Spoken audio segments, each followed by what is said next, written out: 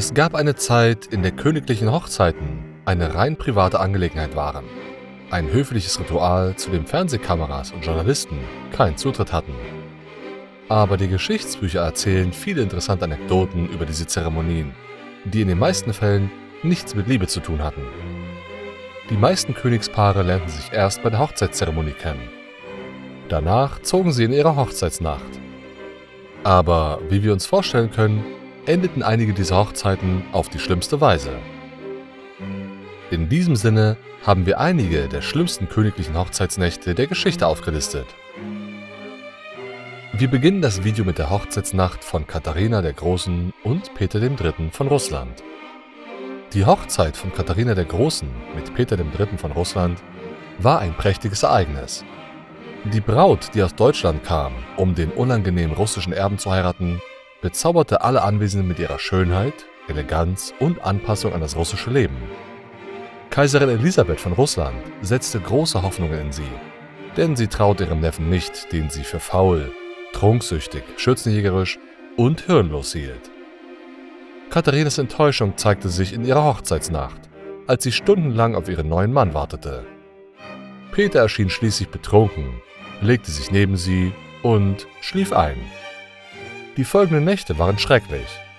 Mit 18 Jahren war Peter für die Schönheit seiner Frau unempfänglich und vergnügte sich lieber mit kleinen Holzsoldaten, Miniaturkanonen und Festungsmodellen. Tagsüber wurden diese Spielzeuge unter dem Bett versteckt, aber nach dem Abendessen, wenn das Paar zu Bett ging, wurde die Schlafzimmertür geschlossen und der Spaß begann. Wenn Peter neben Katharina lag, leuchteten seine Augen, wenn es Zeit zum Spielen war. Und manchmal dauerte das bis 2 Uhr morgens.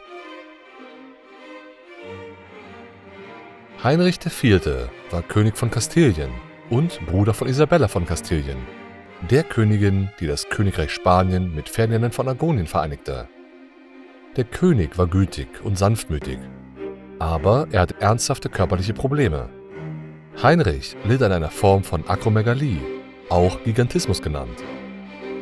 Seine Hände und Füße waren zu groß. Sein Kopf war abnorm groß mit groben Zügen und er war insgesamt riesig. Kurzum, er war ein liebenswerter und einschüchternder Riese, der von körperlichen Mängeln geplagt wurde und nur dann glücklich war, wenn er nicht in der Öffentlichkeit stand. Zeit seines Lebens hatte er nur wenig Kontakt zu seinen Halbbrüdern. Heinrich wurde im Alter von 15 Jahren mit Blanke von Navarra verheiratet.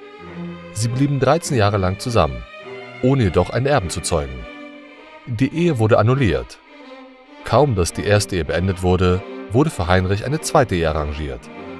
Seine neue Frau war eine andere iberische Prinzessin, Johanna von Portugal. Johanna war 16 Jahre alt und auffallend schön. Wie andere europäische Prinzessinnen war sie nur ein Druckmittel, um das Bündnis mit ihrem Bruder König Afonso V. zu besiegeln. Interessanterweise hob der König vor ihrer Hochzeit das Gesetz auf, das die Hochzeitsnacht zu einem öffentlichen Spektakel machte vielleicht weil er ahnte, was passieren würde. Berichten zufolge verlief die erste Nacht des Paares nicht gut. Der Samen des Königs saß fest. Die Ärzte mussten Heinrich IV. mit ihren bloßen Händen erleichtern. Das Ergebnis wurde trotz des Versuches einer künstlichen Befruchtung als wässrig und steril bezeichnet. In Johanna wurde ein dünnes Goldröhrchen mit den Spermien ihres Mannes eingeführt.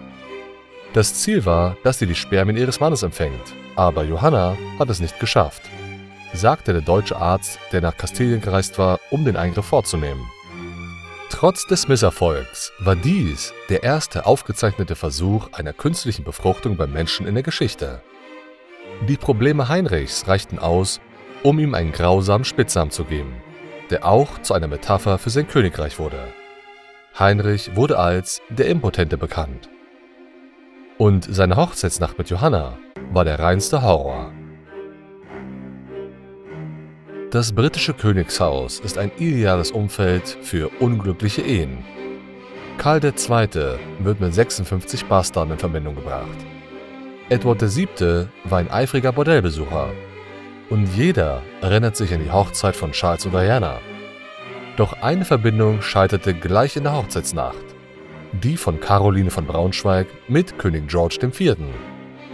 Der damalige Prinz von Wales sträubte sich hartnäckig dagegen, eine Frau zu finden und willigte erst ein, als das Parlament zustimmte, seine Schulden zu begleichen, die aus einem von Laudanum-Abhängigkeit und Prostitution geprägten Leben herrührten. Die Höflinge rieten ihm, seine Cousine Caroline von Braunschweig zu heiraten. Sie lebte zu dieser Zeit im Fürstentum ihrer Eltern, in der Provinz. Er hatte ihr Gesicht nur auf Familienporträts gesehen. Das Paar traf sich drei Tage vor der Hochzeit und der erste Eindruck hätte nicht schlechter sein können. George ging ans andere Ende des Palastes und erholte sich beim Glas Cognac. Caroline sagte, ihr zukünftiger Ehemann sei dicker und nicht so hübsch, wie er gemalt wurde. Die Hochzeit fand am 8. April 1795 statt. George gestand seinen beiden Zeugen, dass er gegen seinen eigenen Willen heiratete.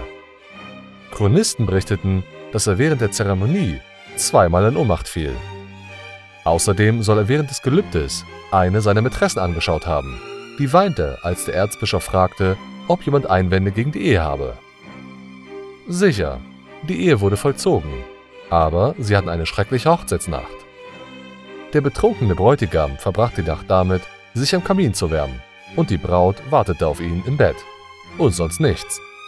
In den Zeitungen der damaligen Zeit stand, dass es nur drei körperliche Begegnungen zwischen dem Brautpaar gab, von denen eine zur Geburt von Prinzessin Charlotte Augusta führte. Danach verkündete George, dass er nie wieder mit seiner Frau schlafen würde, nicht einmal um einen neuen Erben zu zeugen. Viele Jahre lang war Sex eines der größten Tabus in der westlichen Gesellschaft. Dies führte zu zahlreichen peinlichen und traumatischen Situationen, wie die von Maria Josepha Amalia von Sachsen in der Nacht ihrer Hochzeit mit dem spanischen König Ferdinand VII. erlebte. Ferdinand VII. heiratete in dritter Ehe Maria Josepha Amalia, ein junges Mädchen, das noch keine 16 Jahre alt war, als sie 1819 offiziell mit dem spanischen König verheiratet wurde. Nach dem Tod ihrer Mutter wurde das Mädchen in einem Kloster aufgezogen. Sie hatte keinerlei Kenntnisse über fleischliche Beziehungen. Andererseits war der Monarch für seine sexuellen Ausbrüche bekannt und außerdem davon besessen, ein männliches Kind zu zeugen, um den Fortbestand der Monarchie zu sichern. Damals pflegte die Blutprinzessin, die bereits verheiratet und dem König vertraut war, vor Beginn der Hochzeitsnacht eine Viertelstunde mit der Braut zu verbringen und ihr zu erklären, was als nächstes geschehen würde. Doch als die Zeit gekommen war, weigerte sich die Schwägerin des Königs, Maria Teresa de Braganza, diese Aufgabe zu übernehmen, da sie die Schwester von Isabella de Braganza, Ferdinands früherer Frau war.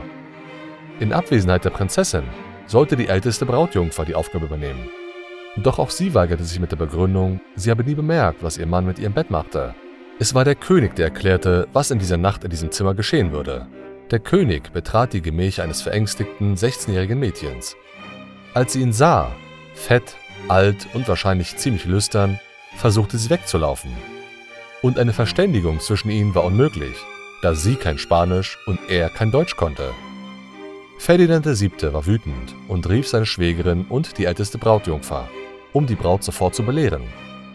Nach einem kurzen Gespräch der beiden Frauen mit dem jungen Mädchen kehrte der König in sein Zimmer zurück und bereitete sich darauf vor, die Ehe zu vollziehen, ohne auf Widerstand zu stoßen. Die Angst von Maria Josepha Amalia war jedoch so groß, dass sie, während Ferdinand in sie eindrang, es nicht aushielt und schließlich Stuhlgang und Urin absetzte.